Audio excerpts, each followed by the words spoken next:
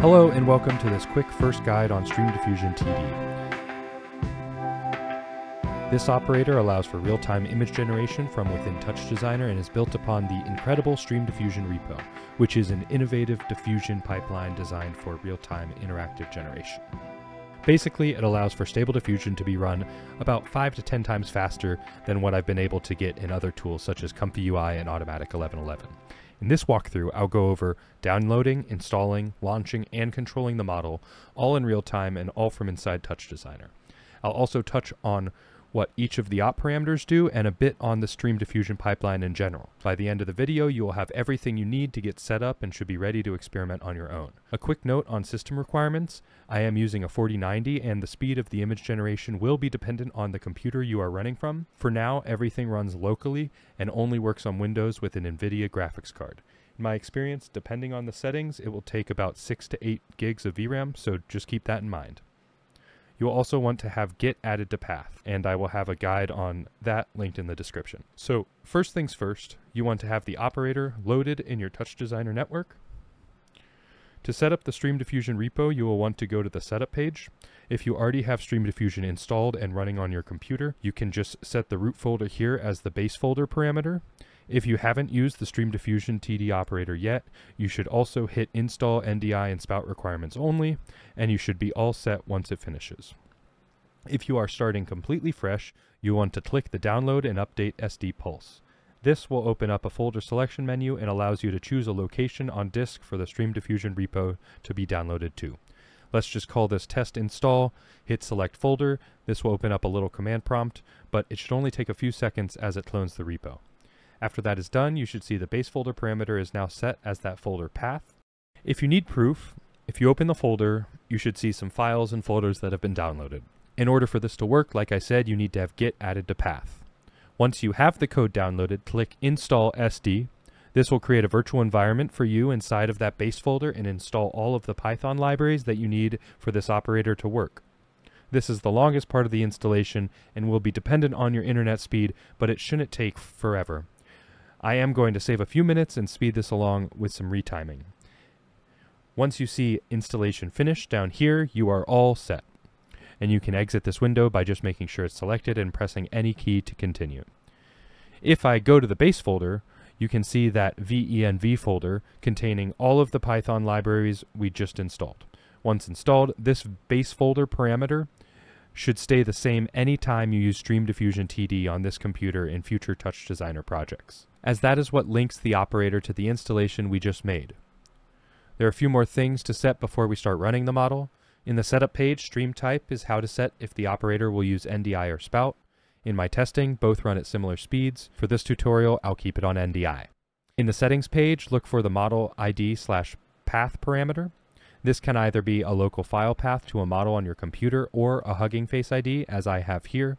If it's a Hugging Face ID, the model automatically downloads from Hugging Face and is stored in your local cache. Next, briefly looking at the step schedule parameter. With this plus and minus UI, you can set the number of steps.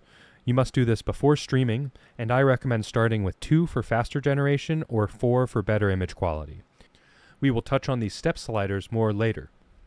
This similar image filter might be useful for webcam inputs with camera noise, and it can reduce flicker in the final stream, but I'll leave this off for the demonstration. All of the other settings can remain at their defaults for now, and we are ready to start streaming. Hit the Start Stream pulse at the top of the settings page, which begins the process in an external command window. While this guide focuses on Touch Designer and working with this operator, the backend for this can be run separately and controlled by other apps compatible with OSC and NDI or Spout. In the command window, you might see warnings about Triton or Xformers. These don't seem to cause any issues. Xformers doesn't seem to be any faster than the non-acceleration mode, so at this point I wouldn't recommend using it. Once everything is loaded, you should see Stream Active with FPS information as the last line in the window, as well as in the operator's Stream Info parameter. Let's uh, make things a little more interesting and add a basic noise operator. I will look into this and have this fixed soon, but sometimes the internal NDI operator doesn't show the available source names. So a temporary fix for now is to hit this X on the left side twice to disable and enable the op, and the correct stream in name should automatically be selected. And now once you see the image on the other side, you know the pipeline is working. Now we are ready to dive into experimenting with the model and let's go through the parameters that you can control live. First up, seed. If you're familiar with generative media or image diffusion models, the concept of seed will be pretty straightforward. It is a randomizing value that, in this case, sets the initial noise that the diffusion model begins its denoising process from. The basic version of seed is every time you change it, you get a completely new image that still follows the other settings. Initially, I suggest just keeping this at a constant value, which will give you a better sense of what other parameters do and will also maintain better stream stability. Moving up to the prompt parameter, experimenting with prompts with the real-time feedback from the model is pretty wild. Just type in whatever comes to mind and, well, you'll notice that when typing a prompt, it doesn't update immediately. This is because certain Touch Designer parameters only update their value after you click away or hit enter. Before we fix the prompt thing, I want to just animate the noise. Maybe that's a bit too much. Let's go 0.1. Perfect. We can create a more interactive prompt box using a text comp. Let's do this quickly here. Hit tab and add a text comp to the network. In this first page, set type to multi-line, turn on word wrap, and edit mode should be editable continuous update. And now activate the node by clicking the icon at the bottom right or pressing A on your keyboard while the node is selected. Then maybe name this operator something a little more specific like prompt. Then you want to click and drag this to the Stream Diffusion TD's prompt parameter and choose reference. Now, as you type in the box, you can see the immediate effects on the prompts changing the output image. Maybe I'll change the noise to be animated a little faster and I can do a color shift on the fireworks here. It's simple but super powerful stuff. You might notice I just wrote this little thing that says negative prompts do nothing. And as you change them, yep, doesn't seem to have any effect. Now, going back to the step schedule parameter section, one of the key ways Stream Diffusion is able to generate images so fast is the way it denoises steps in batches instead of one after another, like other image diffusion models. In this operator, we control this with sliders that will drive the position and also the amount of step batches in this parallel denoising. Hopefully that isn't too far from the truth and the math and actually makes sense, but generally you can think of it like denoising in image to image. Lower slider values add more randomness early in the process, and higher values on sliders make the output closer to the input image. It is suggested to keep the steps in order, with the first step being the lowest value and so on. In my experience, this definitely seems to be true for 1.5 models, but SD Turbo doesn't seem to mind less conventional values. It's worth playing with. Instead of CFG, we have guidance scale and delta. These parameters are much more sensitive in stream diffusion compared to stable diffusion, making the range much smaller. Also, neither parameter will have any effect unless guidance scale is above 1.0, and the effect it does have is often too much if over 1.5.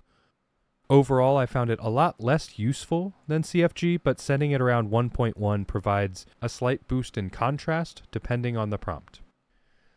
Every parameter you see that is not disabled when the stream is active is definitely worth experimenting with live to get a better feel for what it does. You can also drive all of these parameters with anything in Touch Designer, such as building out some audio reactive chops, or maybe a dynamic DAT-based prompt system. Like pretty much everything else in Touch Designer, there is no one way to do it, and I am very excited to see what people discover and make with this.